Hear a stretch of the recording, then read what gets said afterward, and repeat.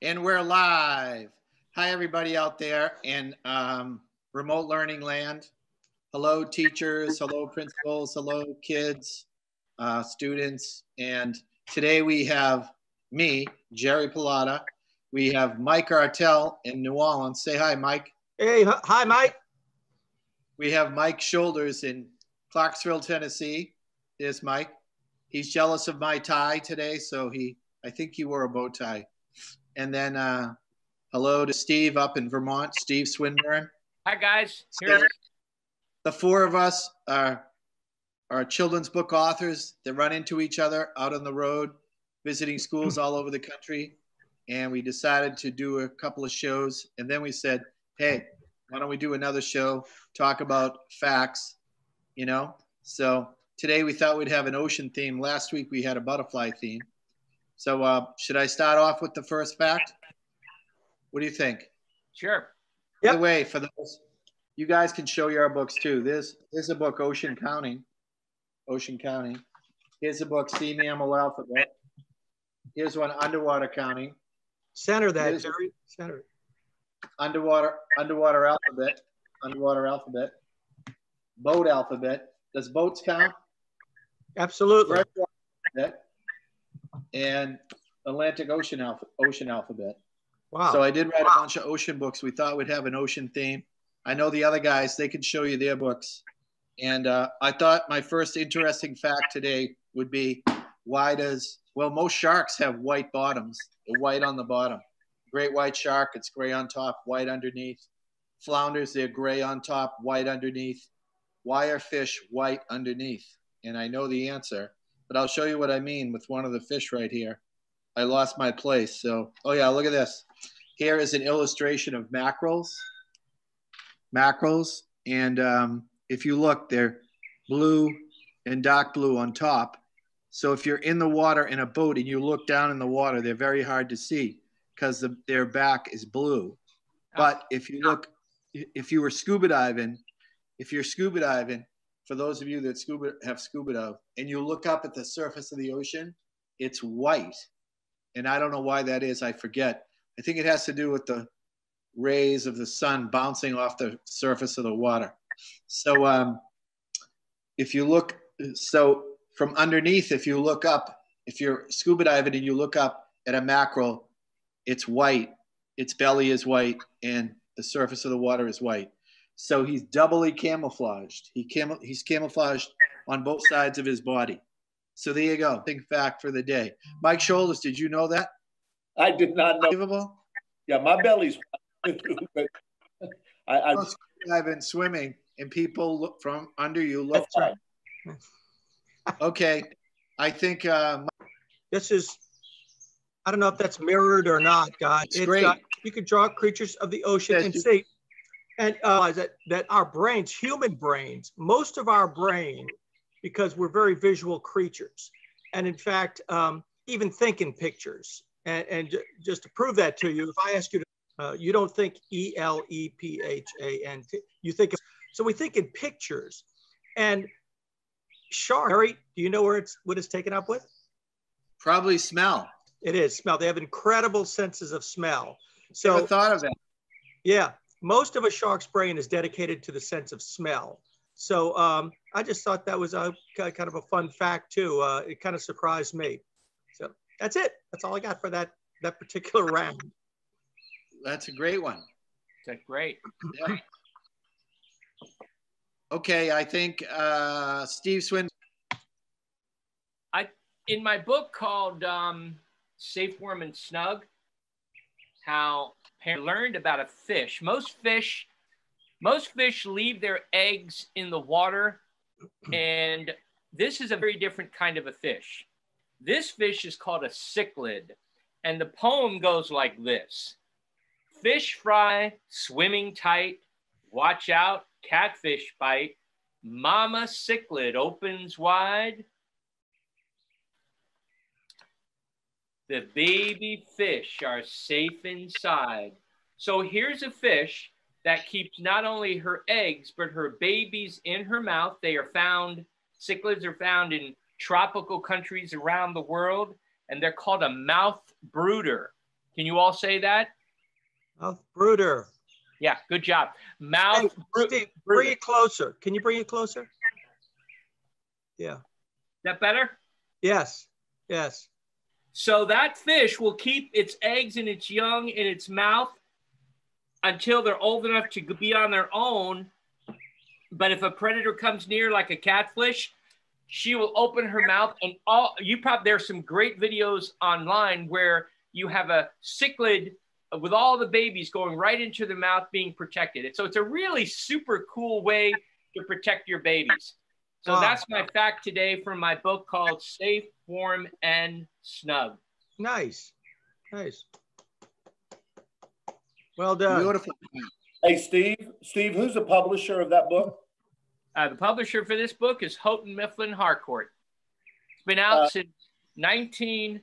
This is actually one of my oldest books. Let me let me get a date on this. This is still in print, believe it or not. And you guys may have met this wonderful group of 1999. Anybody ever meet Jose Aruego and Ariane Dewey? I've They're, met Jose. He's deceased though. He is deceased. Oh, no. I met him once oh, at a school. I didn't know that. Huh. We met him one. I met him once in, in my school. career. He used to be really. He used to go to schools all over yeah, the place. sure did. Every yeah, school sure I went to, they used to say Jose was here last year. You know? Yeah, I met him once. I was so happy to meet him, but he passed soon after that. Um, but apparently, Jose, he and his wife, they're not. They were divorced, but he and his wife Ariane Dewey used to work together on books. Jose would draw the black lines and Ariane would paint in the color. Pretty cool, right? Yeah. I can't cool. imagine working as a team, but they worked as a team on these books. Wow. Beautiful cover. Very nice. Did I hurt your feelings, Steve? Should I have said beautiful book? Uh, yeah, you could have said that, sure. beautiful book, beautiful cover. My Jose Shoulders. Hey, uh, I think that the writing was beautiful in that book myself. I think that was uh, the strongest part of that book. Thank you. But the reason I asked you is uh, when I wanted to be an author and I did not have any books, I, I wrote a weekly column and companies sent me their books to mention in my column. I did not review books as much as recommend. Steve, I recommended that book. Oh, I remember that, I remember that very strongly. And I would show it, I would show it at teacher workshops and share it with teachers. So that's why I asked that question. Thank you, so, Mike. Uh, I have a book uh, by Sleeping Bear Press, from Sleeping Bear Press, uh, called T is for Titanic, a, tit- a Titanic alphabet. And it's uh, my wife and I co wrote it, and it's illustrated by Gijsbert van Frankenhuyzen. Wait a uh, minute. What? What? Franken. I don't know if you can see it. Let me see. Hey. Wow. I, wonder how long it, I wondered how long it took that child to learn how to spell his name. How long was he in first grade? Yeah, right. So uh, I did not, of course, I did not pick him to, to illustrate or, or get to uh, to talk to him about the illustrations. But when I Mike. met him, hey Mike, didn't he illustrate Legend of Sleeping Bear? Yes, yes. He lives in Michigan. He's a he's a very prolific illustrator. Fantastic work. Look at that cover. So so uh, anyway, the first thing I asked him when I met him was, "How do you say your name?" His name begins with a G, but it's pronounced with an H sound. He is from uh, the Netherlands, I believe, the Netherlands, and he moved to America in his teens. So here's my fact that I want to share here's a fact that I want to share from my book is that when the Titanic was crossing the ocean, the water where it sank was 28 degrees. Oh my God. 28. And the reason that it did not freeze is because of the salt, the minerals in it, and the motion in the ocean. So it is actually colder. So eh, on this page of the book, uh, L is for life boats and life belts. I love what he did with that. How ominous the ship looks in the background with the dark. Put it close, Mike. Put it close. Say again? Close, close. Closer? Yeah, that's better. Yeah. Can you read the uh, what's on, on that page, Mike? Well, I can paraphrase it. I can paraphrase it, uh, Steve. Uh, that, that, we're talking about how you, you, could only live for a couple of minutes in that water. Really? It was eight degrees. So most uh, people were dying from the cold, hypothermia. Very few. Maybe a couple of people died from drowning. That is not how they died. It was wow. so. Now, if you're ever in Tennessee, if you're ever in East Tennessee in the mountains, or if you're ever in Branson, there's a Titanic museum in each location. They have a vat of water that they keep at 28 degrees. And you are invited to put your hand in for as long as you can stand it. Trust me, 10 seconds is enough. Wow.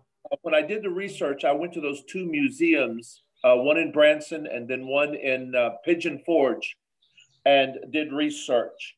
So it, uh, this page talks about the lifeboats and it talks about how they were diminished from 64 down to 32 down to 16 and that was to leave more room on the deck. So that's why this uh, this page is important. So my my amazing fact is that the water was colder than ice it was 28 degrees wow so the reason wow. uh, if we go back to the movie the titanic movie uh, who were the main characters kate winslet and leonardo dicaprio Right. Yeah he was on the raft. She was out of the water, but he was in the water.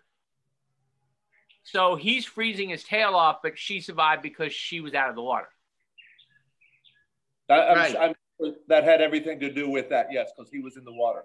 Um, I, I, I, don't have the fact, but I did read doing the research that few of them drowned. Wow. That mostly uh, shock, uh, uh, I guess heart attacks, maybe even. Yeah. You know, hypothermia or something, but uh, but uh, the water was unbelievably cold. I could not believe what 28 degrees of water uh, felt like when I was doing research for the book. Hmm. Interesting. Wow. Wow. wow. Yep. Sorry, guys, my hair is almost in my eyes. yeah, me too. so, um, thanks for bringing this down, Mike. We appreciate it. That's it. it's only one with hair. okay, so we're talking about the ocean, right? And ocean creatures. So, um, why would I show my freshwater book? Freshwater. Because they swim. Because a salmon lives in the ocean, but then he swims back upstream in fresh water into fresh water and lays his eggs in fresh water usually in the stream, exact stream where he was born. It's like one of the marvels of nature. So here's a fish, a salmon. I think that's a coho right there. So they they live five years in the ocean, and then they come back and they lay their eggs in fresh water. So, did you guys know? Can I interrupt you for one minute? Yeah right outside this house, this window, we have a, a, a, river called the West River where they stock it with salmon. Those salmon swim from here, my near my house, all the way to the Long Island Sound and out into the Atlantic Ocean, and they come back. So you're you're absolutely right. It's it's a remarkable journey. So well, here's I, my. I, I, I, don't associate salmon with Vermont. That's uh, I know. That's amazing. Yeah. Yeah. It's like when I when I was uh, on my bicycle in Idaho, I was 700 miles from the Pacific, and they said that the salmon swam all the way up there. Oh the my water. gosh, really? 700 miles. But anyways, so do you know? I, I'm asking. I'm putting it out to you guys. Do you know a fish that does the opposite? It lives in fresh water, and then it goes out in the ocean to have its babies. Hmm. How do you like that? Alewife. What? An, Ameri- an American eel. Oh. Ah, really? An American eel. So it lives in freshwater, but it goes out to the ocean. So this fish was a big mystery to everybody. Nobody could really figure out how how it created baby eels. They never wow. could figure it out. And finally, wow. someone figured it out. They go out to the ocean, and they Very breed well. out in the ocean, and then they they come back and they live They live in I- freshwater. I guess I guess the eggs just kind of float. Uh, uh, creatures that lay their eggs in the ocean. I'm not sure.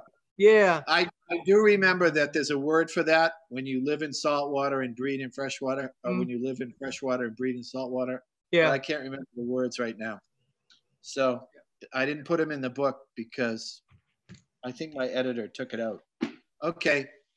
All right, Artell, you're up next. Michael right. Artell. All New right. Orleans. Now it's time now for share my screen. Woohoo! And this is a um, this is a new book that I'm uh, just about finished with. It's a joke book, as you can tell, and um, I'm going to uh, let's see, stop sharing that. Uh, get this guy out of the way, okay? And okay, and then I'm going to share a different screen because these are all ocean jokes. Are you guys ready for some ocean jokes? Yeah. Okay. Okay. Why is it hard to win any kind of game in the ocean? Because the score is what, guys? Hi. Always tied. Tide. Ah, ah, ah, ah. What is the best kind of fish to catch? Oh, best kind of can to catch fish in? A pelican. And of course it is. Uh, which whale is the saddest? The blue, blue Blue whale. whale. whale, Did you illustrate and write this? yes, I did. What happens to electric eels after an earthquake? All right, Ha, Uh, all right, Corte. You guys have to do the answers. I'll do the setup. You do the you knock them down. All right. Sure. Here we go. Yeah. Uh, okay. What kind of food does coral like? Refried beans. There you go. All right. Right. Uh, let's see. These are bad, huh? Okay. Uh, let's see. Uh, oh wait, that was a good one. Which sea has the softest sea floor? The Muddy. Muddy. So muddy Terranean, guys. And who Ah. brings who brings presents to all the good little crustaceans on Christmas Eve? Sandy The Claus. Claus. Oh, oh, oh. Oh, oh, oh, please stop, Mr. Mike. All right, this is the best one right here. Here's a knock knock joke. Knock knock knock knock knock knock knock knock. I get it. I get it. All right. All right, so that's it. All right, that's my that's all I got for that one now. Somebody else is up now. I think Steve or Mike. It's Steve. Yeah. That was great. All right, I'm finish. That uh, reminds me. That reminds me of a Lester Laminack story. How Oh. can you tell a first grader is knocking at your door? And the answer is because no one's ever tell them when to stop. They just keep knocking and knocking and knocking. oh, that's great. I'm going to attempt to share screen here, and I'm going to bring us right to the ocean. Here we go. And oh, wait a minute. Hang on.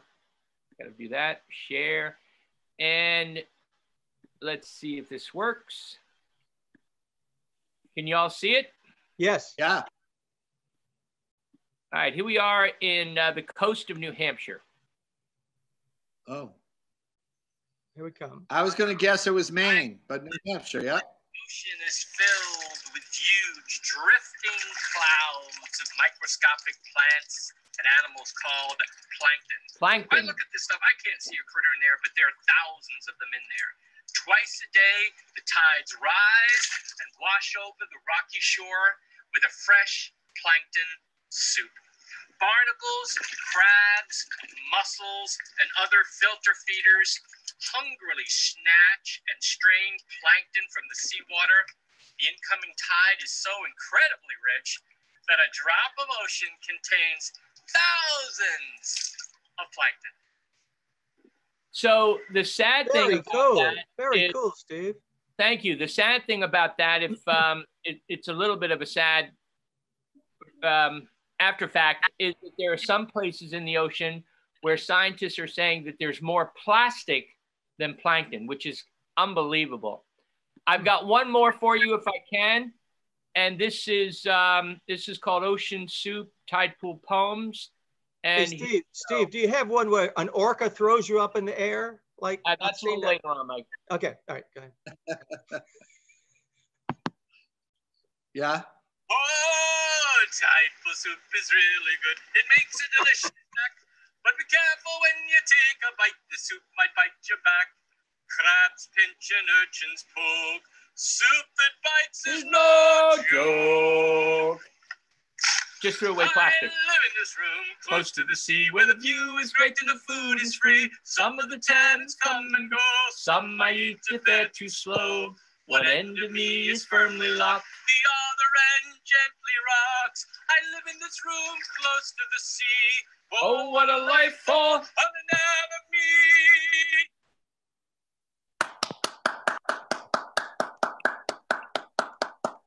Wow. Thank you, guys. And thanks for getting dressed up to it. That was nice. Oh, yeah, no problem. I know. Okay, Mike Shoulders. I got nothing. I don't. I I don't have books about the ocean. So uh, what I want to do is share a, an unusual fact about the Titanic. Sort of. Uh, I guess everything about this is sort of about the ocean.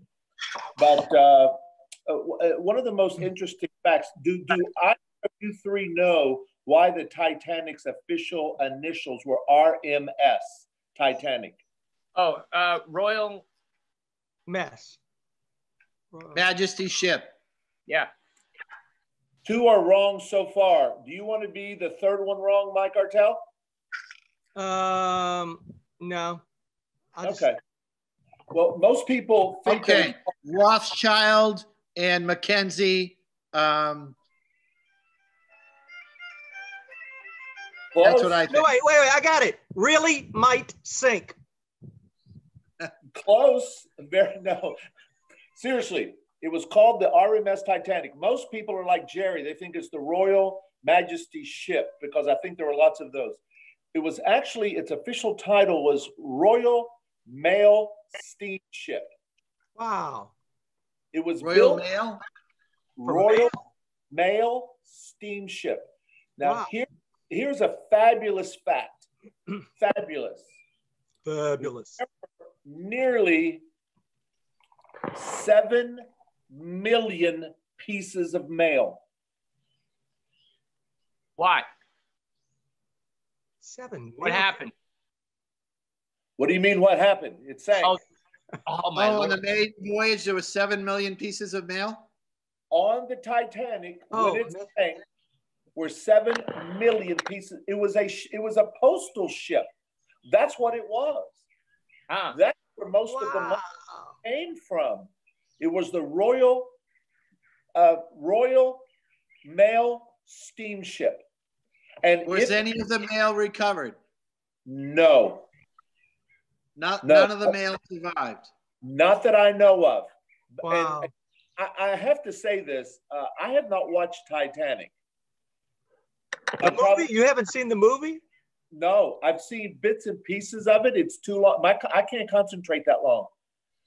So, but in one scene that was on when I walked through the living room one time, there was a bag of mail floating past Jack as he was going down the hallway. Ah, That I think that was a wink and a nod to that fact that yes, we know there was mail on here, you know, but that's not what this is about.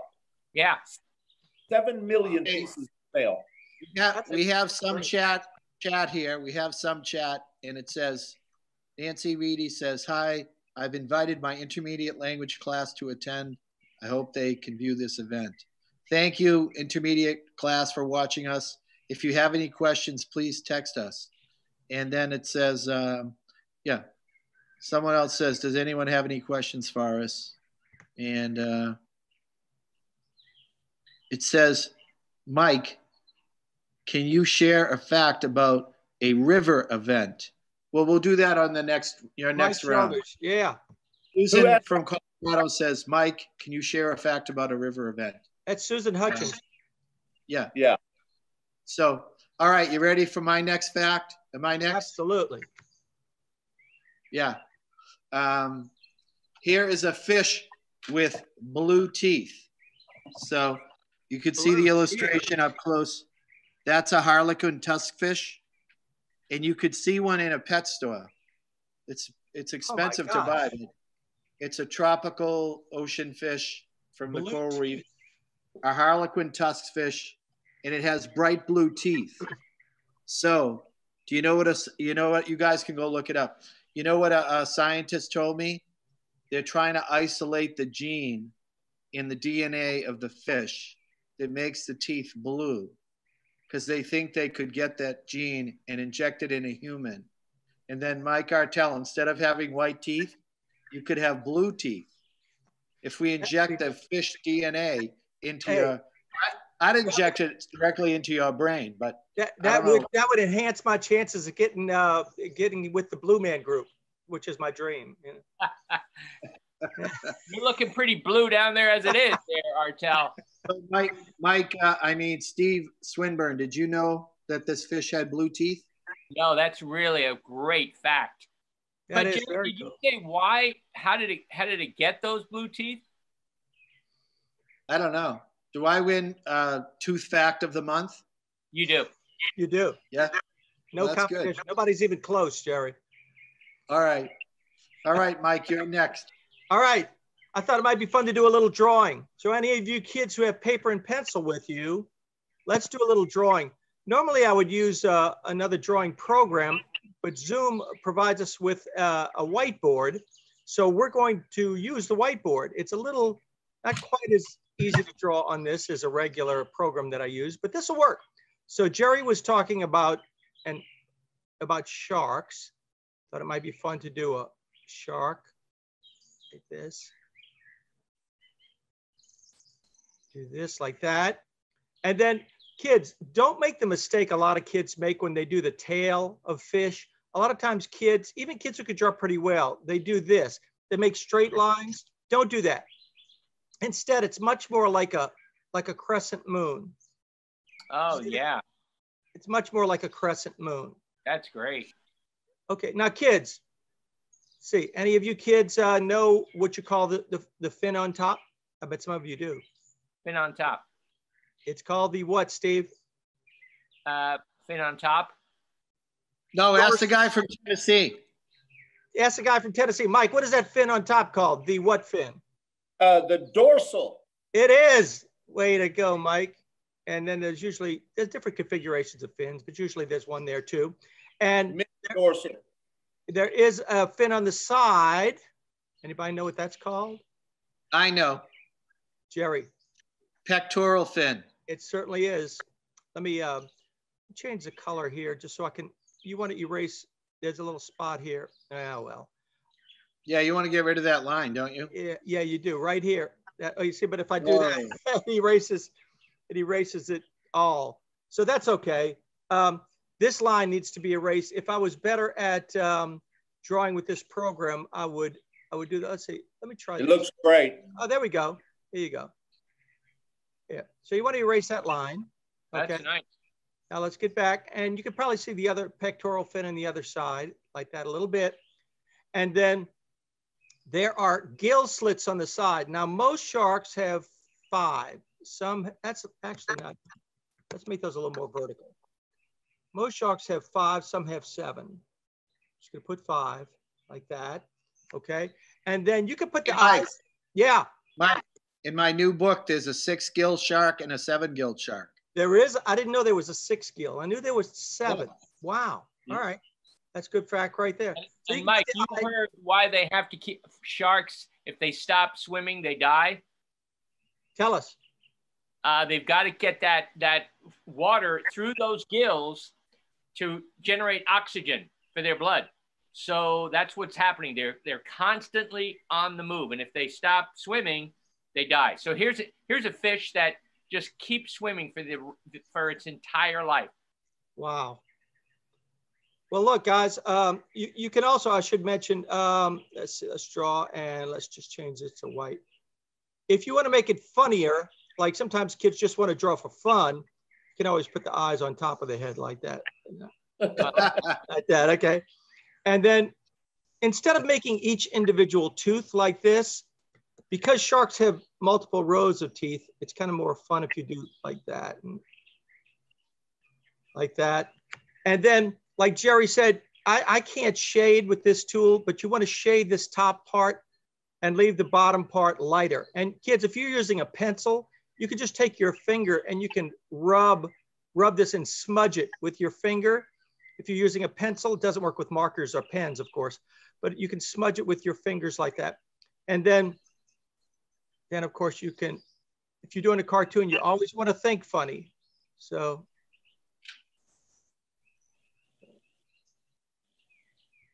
okay, like that.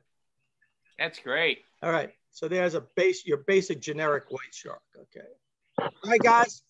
I'm done. Oh, I was going to tell you not to erase that. Oh, why? Can you get it back? Uh, maybe. Let's see. Okay, let's see. Stop sharing that. Let me share again. Share the screen. Let's go back to the whiteboard. Share. Let's see if it erases everything or, ah, there you go. All right, save that for when I talk next because I want to. My next fact has to do with the tail. Oh, okay. Let me just uh, make sure I, I say that too. All right. That's an original. I wonder if that's worth something. Yeah, yeah, it's worth a lot, Steve. that's my wife. That's my wife. yeah. Yeah like like they used to say, with that and a quarter, you can make a phone call. You know. okay, who's up? Swimming. Swimming, yeah. Okay, uh, I'm going to go back. If you, we're going to stick to the ocean theme, I'm going to take us back, if we can, back into the ocean. I made some kind of funny videos with this book a few years ago called Ocean Soup Tide Pool Poems. And there's a really cool animal called a sea slug and um, it's a it's actually a shellless gastropod. So here we go. Here we go with a little video uh, of of uh, Harry Dar. So you ready for this one, guys? This is my favorite. Oh, Steve, I thought you had gotten some help about that. Should. Here we go. Hello,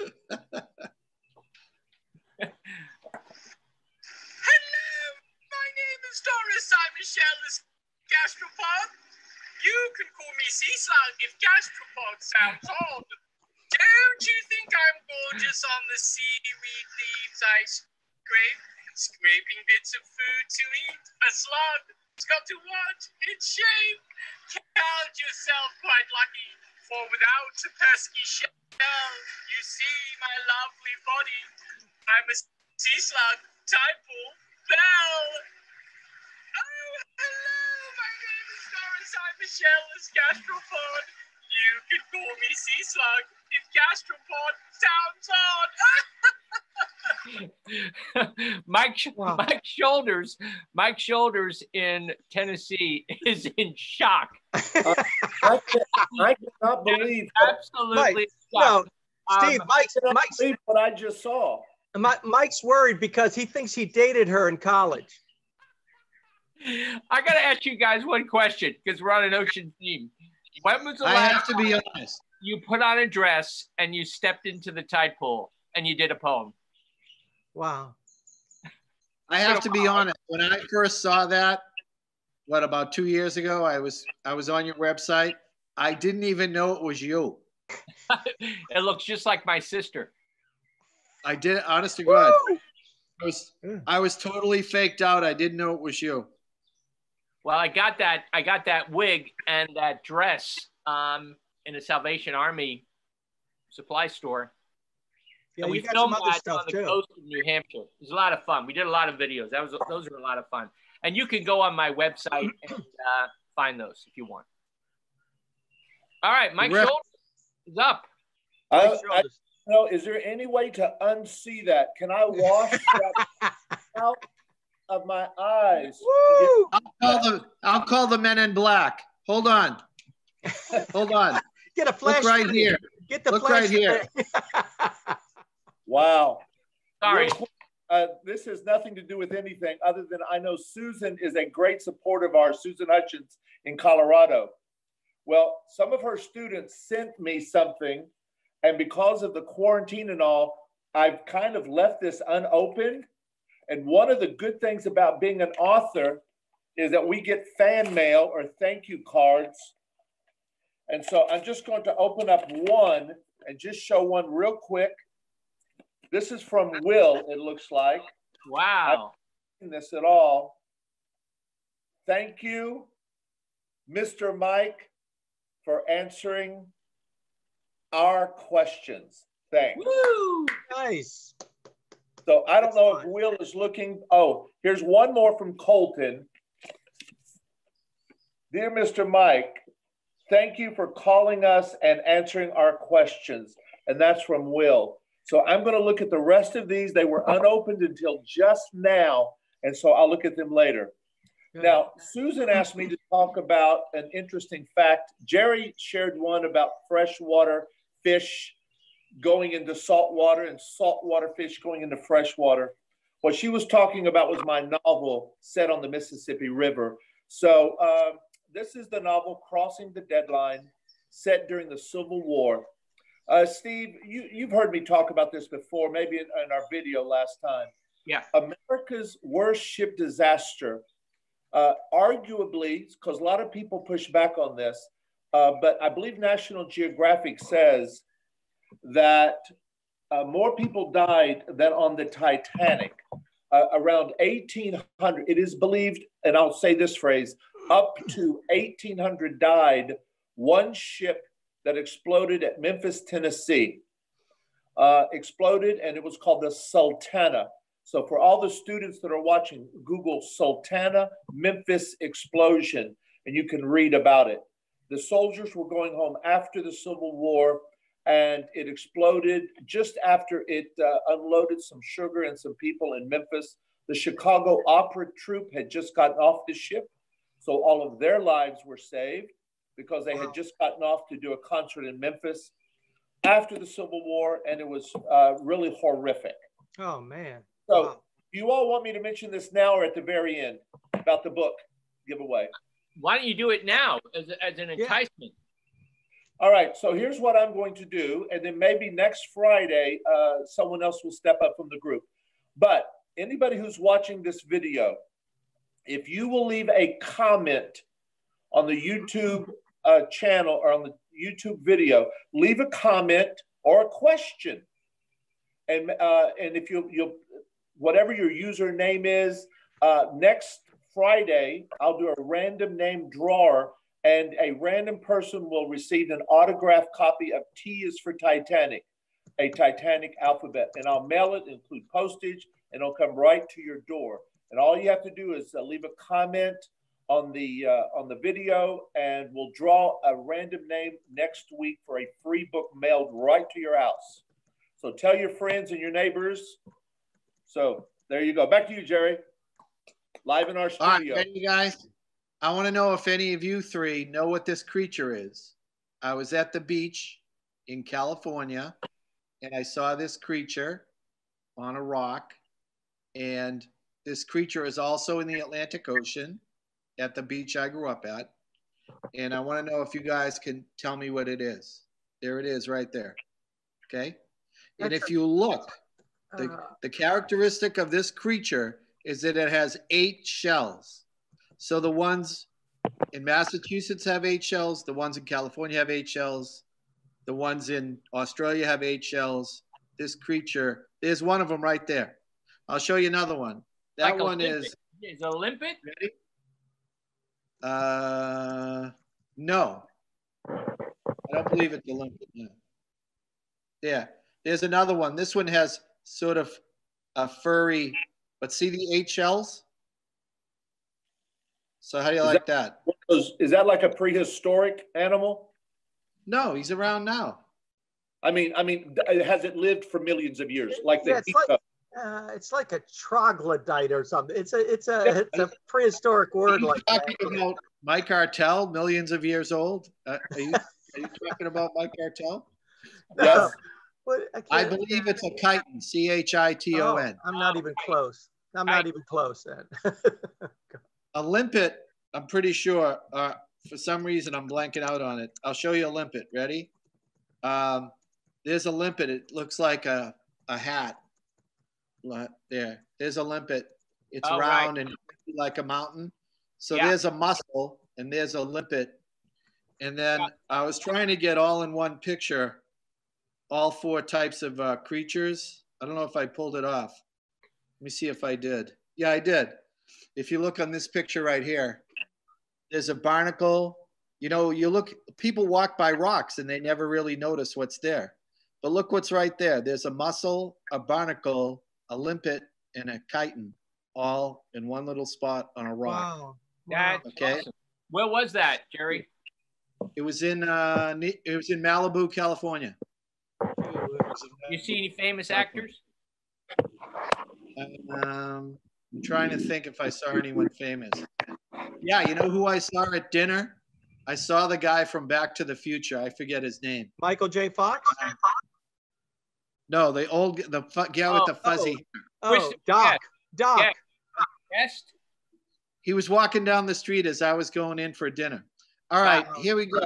Uh, th- there's something in the chat room. It says, um, uh, it's, uh, I don't know if I answered, can. I answered the one they asked me. So, um, but there's one for For you, Jerry. reason, it says for Jerry. Um, Oh, they were responding to your. they were question. saying it was a crab. Someone said it was a crab. Someone else said it was a turtle. No, it's a chiton. C H I T O N. So go look it up. C H I T O N. And you can also another creature attached to the rocks, limpet, L I M P E T. So there's two creatures that people don't really know that well, but they're very common. Okay. Uh, Jerry, how do they how do they attach? I mean, is it it's not suction like a remora, is it? It's it's like a glue or something, isn't it?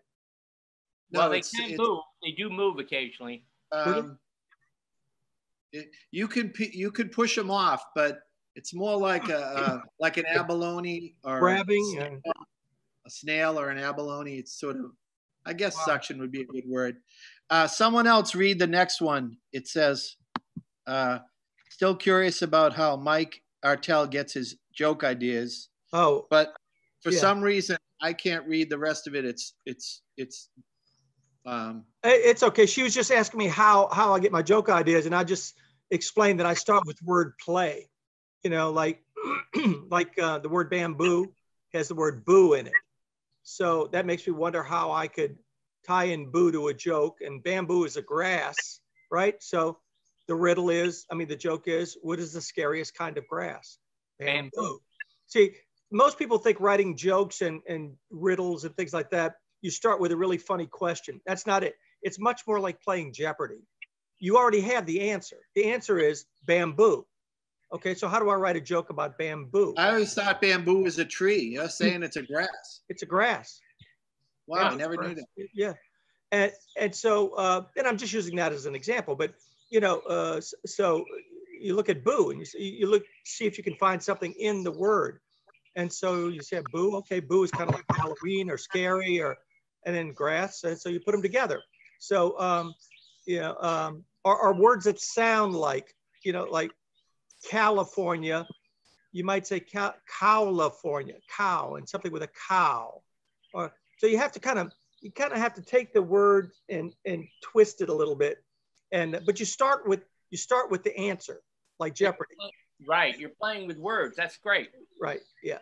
So yeah, that's how I do it. I mean, other people do it differently. So one of these times we'll do we it. We'll do a thing for on, one on, on one of these times. I'll show you how how to write uh, tongue twisters. I got a little formula for writing tongue twisters, and uh, you could write millions of them. Yeah. Um, I think we have time for one more. Does anybody want to go one more round? I had one more fact I wanted to. Let me do a quick one. Let me because this will just take a second. Um, this is this is a very old book I did in the '90s called Weatherwise, and uh, I just wanted everybody to see. Uh, this is about hurricanes, which of course start in the ocean, usually off the coast of Africa, and um, the the wind comes off that desert, the Sahara Desert, and it goes out and begins to spin because of the Earth's rotation, and that that's when it hits uh, uh, the United States uh, or, or Central America. But I just wanted to show you this because this was a little technique that I used when I illustrated this. This is a drawing I did. And the way I did it was I took pencil, uh, graphite actually, and I, I, I covered the entire sheet of paper with that. And, and then I took an eraser and then erased erased the hurricane from there. And the very, very white spots are uh, correction fluid, boo-boo juice. You know? So it's kind of like Floyd Cooper does with his, but uh, uh, yeah. not anywhere near the quality Floyd does.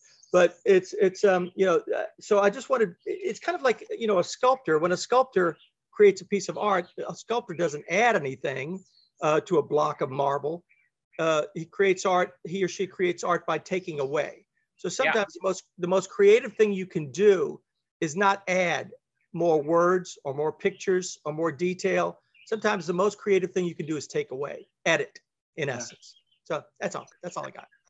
Great. Well, that's something Great. the illustrators taught me when I started doing my books. Mm-hmm. They they would say less is more, less is more. And at Very first, true. I didn't know what they were talking about, but they kept yeah. saying less is more. Like the less you show, the more your imagination sees better. You know what I mean? Yeah. So.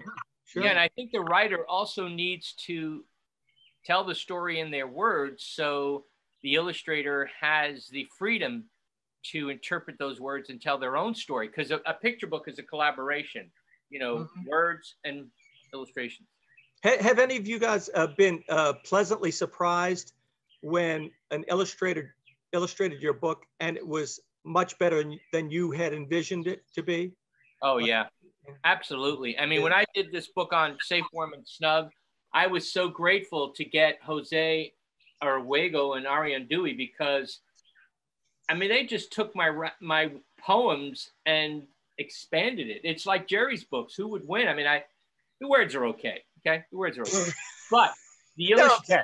They're okay. I mean, yeah. I, mean, I think that's what's so great about these picture books because they're. Here's a book right here. Hold on, I, I got to show you this. This is a book called. I got this book recently called Giant Squid. It's not mine. It's by Candy Fleming and Eric Rohmann. Now, the words are wonderful, but when you start looking at the pictures, they're just like, wow, it, it brings this creature, this this mythical underwater creature to life. I mean, look at look at that eye. Yeah, yeah. So I think what you're saying is, yeah, I mean, you you got to have some imagination with these uh, with your words, but you also have to leave the artist to interpret those words. You know it, it's kind of like uh, Elton John and Bernie Taupin, right? I mean, yeah. The, well, that's exactly music right. and lyrics. Yeah, yeah, music and lyrics, and they're hey. both they're both critical. Right. By the way, we're almost out of time. Steve, are you going to pick up your ukulele, or are you going to pick up oh. your uh, banjo ukulele? Yeah, well, the banjo ukulele. I'm going to show you if I could. Um, Jerry, Jerry was lovely to send me this. It's not in tune so I'm going to play my regular ukulele, and this is our wind up song. This is called uh, Bye Bye Kids, Don't Forget to Read. And uh, it's all of, um, you can sing along. Here we go. Say one, two, three, and I'll go. One. Before you go, two. Mike, did you have, Mike, did you have anything else to say? Mike Shoulders. Mike Shoulders, did you have anything else to say? No, no. Uh, I, I, thanks for including me. I've, I've, had a great time. So, uh, so see no, you in a uh, week. We'll see what? you next Friday. Next Friday, we'll we'll pick a winner for the uh, T is for Titanic book. Fantastic. All right, Mike Artell, did you have anything to say? I think your hat says it all. I think, the, I think the hat says it all. It's a Is that a croc hat or is that a lobster? It it is a it's for the purposes of this, we're going to make it uh, a lobster, Jerry, since in your honor. Oh, thank you very much. I'm, I'm deeply honored. All right, hit it. Hit it, Stevie. Bye bye, kids. I hope you had a good time. Bye bye, kids. Don't forget to read. Bye bye, kids. I hope you have a good day. Don't forget to read. Thanks for inviting us to your screens. We had the best time. You guys are cool. I hope you really like our books. Read a book, you can't go wrong. I said, bye bye, kids. I hope you had a good day. Bye bye, kids. Don't forget to read. Bye bye, kids. I hope you have a good day. Don't forget to, don't forget to, don't forget to read. Yes. Cha cha There cha. you go, Steve. Cha cha cha. Thank you, guys. Everybody, michaelshoulders.com, steveswinburne.com, mikeartell.com, jerrypallotta.com. Thank you, everybody, for